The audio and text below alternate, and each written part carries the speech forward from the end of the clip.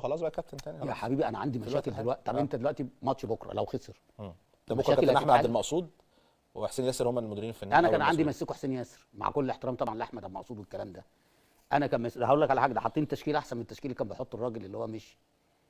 والله حاطين تشكيل كويس قوي. يعني طب فين الكلام ده؟ طب الراجل كان فين يعني؟ الراجل كان مغيب عن اللعيبه طب أنا أقول لك على حاجة. بس أنا يعني أنت لو لو خسرت بكرة إيه اللي هيحصل؟ المشاكل هتزيد.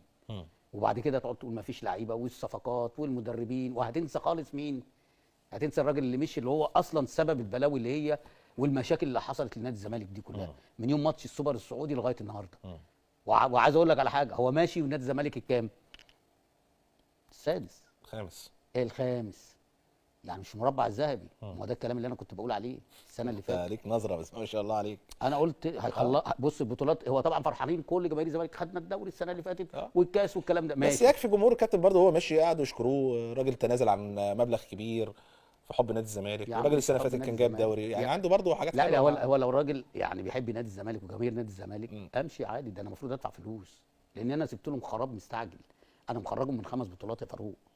أنا بجلالة قدري البروف البروفيسير اللي اللي الدنيا كلها كانت بتتكلم عليها. لو أنا بجد في حق نادي الزمالك والله أدفع فلوس. قال لهم خدوا 100000 دولار مقابل الخمس بطولات اللي أنا طيرتها منكم. إنما وهو ماشي واخد 200000 دولار وتقول لي آه، اتنازل عن يا راجل حرام عليك. يا راجل والله آه، مش عايزين بقى هل ممكن نادي الزمالك الفترة الجاية يعني يتغير فيه شيء؟ عايز يتغير فيه شيء لازم حاجات كتيرة تتغير من فوق لتحت. ابني بقى. ابني يعني هات الراجل المناسب في المكان المناسب. وأنا دايما بقولها أنت خلاص أنت دلوقتي مثلا كل الاحترام لأمير وأحمد في موضوع الصالات وموضوع ال- الكوره أنا لو من أمير لازم أقدم استقالة. بجد. تغيير إداري قصدك كابتن آه كامل. طبعا طبعا. وأجيب بقى ناس يعني شغلتها دي. واخد بالك؟ إنما مش صعب. دي دي رقم ده, ده رقم واحد في الإصلاح. مم. وعشان إن أنت تبقى أفضل رئيس نادي من وجهة نظري دلوقتي بعد الإخفاق اللي حصل ده ابعد ولادك هتبقى أحسن رئيس نادي. بس هات الراجل المناسب بقى في المكان المناسب. تمام. عايز آخد